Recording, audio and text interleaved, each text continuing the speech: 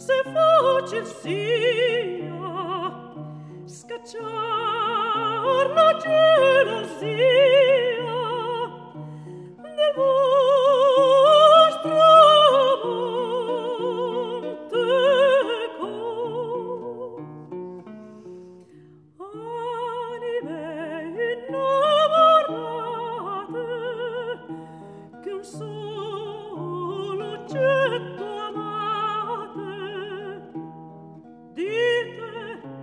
se face sia scacciar la gelosia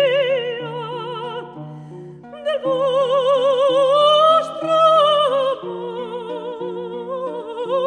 montego oh, mi risponderete che fu